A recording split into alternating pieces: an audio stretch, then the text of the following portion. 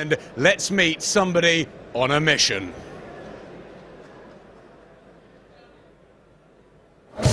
Remember the name. I'm Darren Sutherland, and I'm one to watch for the future. I won a bronze medal in the 2008 Beijing Olympic Games. I'm also the three-time Irish national champion. Now I've turned pro with Frank Maloney.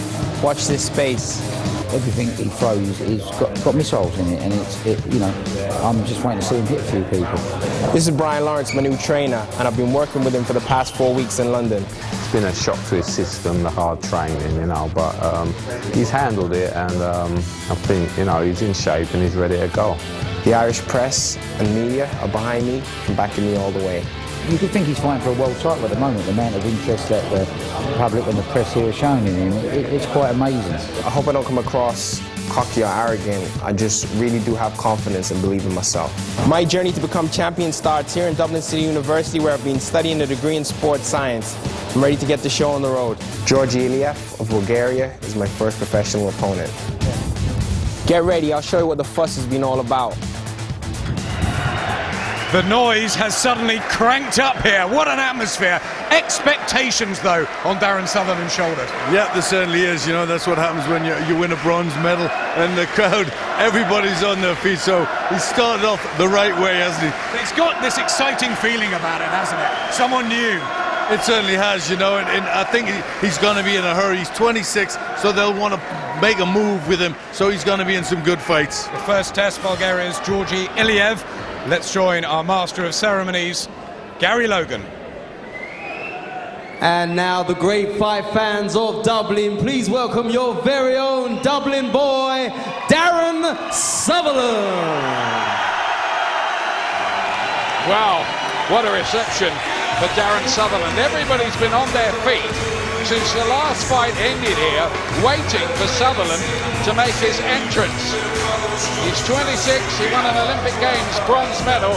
He was beaten by Great Britain's James DeGale, who went on to win the gold medal, of course, at middleweight. But Sutherland had previously beaten him four times.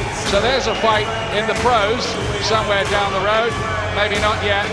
But Sutherland, the word is that his style may be just the job for the professional ranks. It's quite a reception, Jim, isn't it, this? Yeah, tremendous reception. But an excellent night's boxing tonight, but the place really erupted when this young man showed up. He spent some time in the pro gyms, but taking his time about turning pro, so he's obviously thought long and hard. He'll be 27 in about four, four or five months or so, so they won't hang about with him. But I think he's good enough to be moved along fairly quickly. Here's our MC then, Gary Logan for you. And now, ladies and gentlemen, your special super middleweight contest of six three-minute rounds.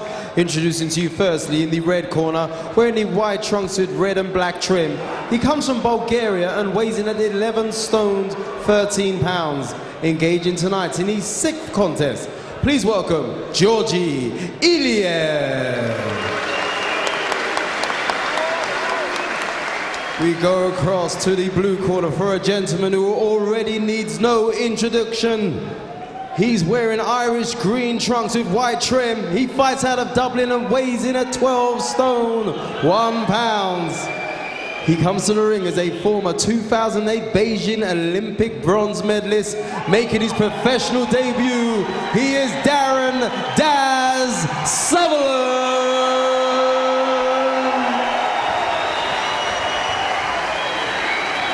Your timekeeper is Mr. Mel Sutcliffe. Your referee at the bell is David Irving. This is six three-minute rounds. Boxers, please. Go on. Okay, I've explained the, the rules to you in the dressing rooms, okay? Obey my every command, okay? And defend yourselves at all time. Okay, Georgia? Good luck. Touch gloves. No vests, no head guards, no computer scoring anymore. This is the pros. An amateur success, no guarantee that it will translate into professional stardom.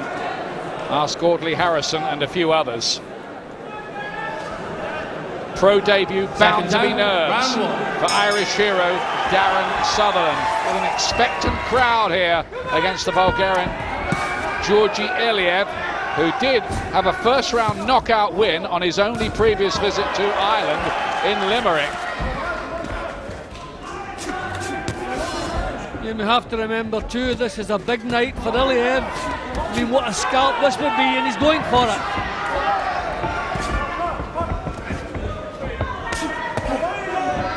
Well, he's going for big haymakers. Iliev remembering that Limerick experience, perhaps. And he's landed a good solid jab too, but uh, Sutherland very composed looking. There's a solid look about him. Chin down nice and low, hands up. Looks to have natural power.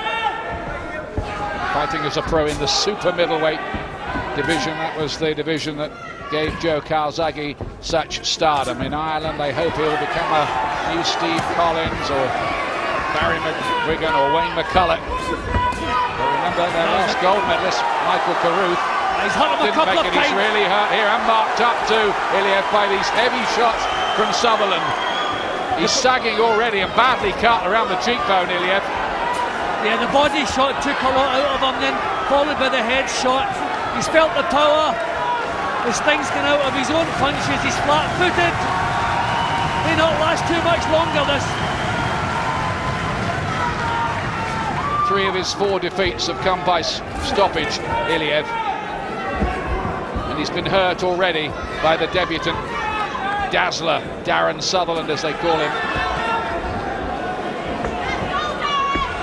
His punches, another one to the body, and a right to the body, and a left to the head, all from Sutherland. And another big right, and Iliev's hurt, and he's unsteady on his legs now, and he might be ready to be taken. I think all ambition's been knocked out of him. He was throwing good solid punches in the first minute or so. Don't see them now. I think he feels the end is in sight himself. Lovely jab. heavy jab. Looks quite heavy-handed, Sutherland.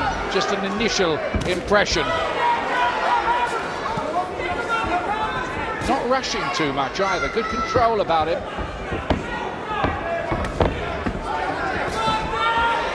There's that jab again.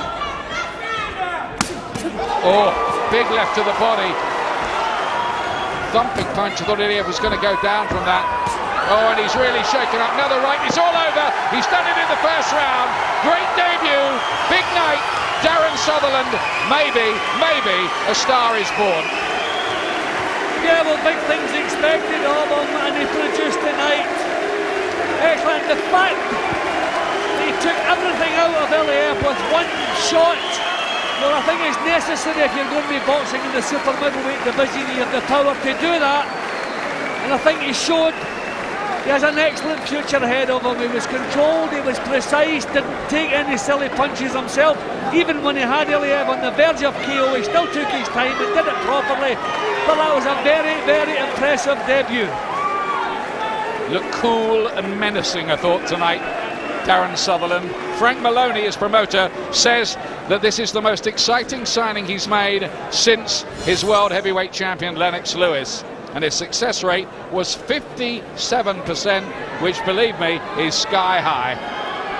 Yeah, that, that's very accurate. Keeping in mind, uh, Iliev was a sitting target after the body shot landed. It just seemed to take everything away from him. And you, you can see that's the, the, the body shot that actually made the, the, the big noise. It looked good, it sounded good, and at this point, the fight was all over. The referee did exactly the right thing. He was shipping punishment.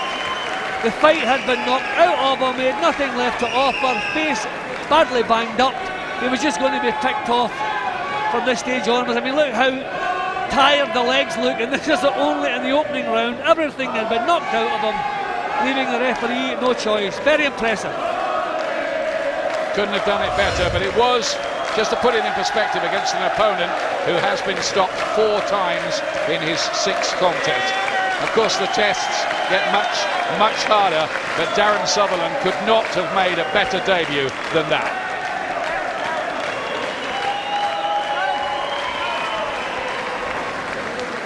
Ladies and gentlemen, we have the time, 2 minutes and 44 seconds of the first round. Referee having stopped the contest. Your winner on his professional debut from Dublin, Darren Daz Sutherland.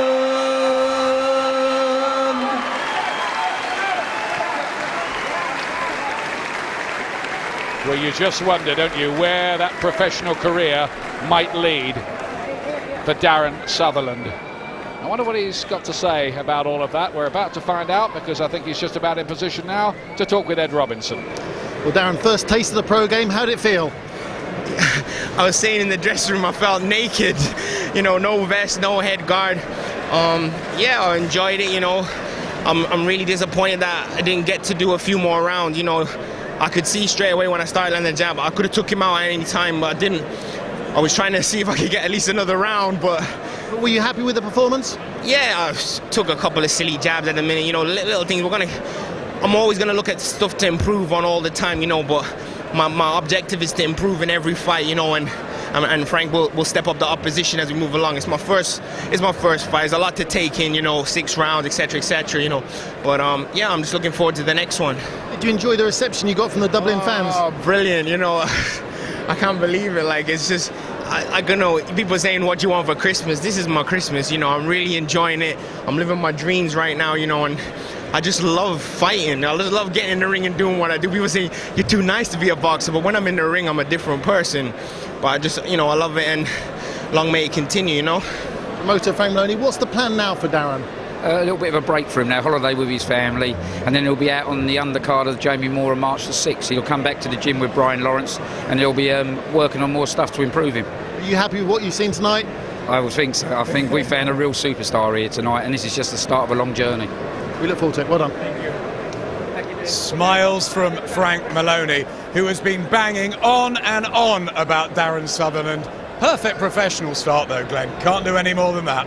No, it was it, you know it was a very good start. It's great to get your first one out of the way and get it done in that sort of style. But what he did, he did very well. You know, when you when you looked at, you know, his jab was good. He he did take a couple of silly jabs, but he went through it, and it was it was very impressive. But there must have been nerves as well with all the media attention. You know, falling at the first hurdle, the psychological demons. Cope with it, all right. Oh man, it's got to be massive. You know, when you the pressure that's on you from from being an Olympic hero to to then bring it into the ring, and I think it was tough for him. But he looked a little bit stiff early on. But Iliev came out. You know, he came out to really, really have a go, and you know, it was quick to get his body shots on, quick to, to bang him up and mark him up and cut him. And I mean, it really took him apart in less than three minutes. He is 27 in April, so they can't take too long moving him, even at this early stage, can they? No, well, they, they started straight away with a sixth round, which is, is good. You know, he's been the Olympics, he's a, you know he's been international competition. He's a he's a mature man, and you can see that. So I think they will move him relatively quickly. You've seen many prospects come and go through the years. What are your, you know, what are you going to take back tonight, Glenn? I think, uh, you know, I, I, was pretty impressed. I thought there was somebody there that came out, looked very mature, looked very strong. He's got a, a great crowd behind him, which is, is always great, you know, it's always refreshing. And I think he did a very good job. Obviously, there's a long way to go.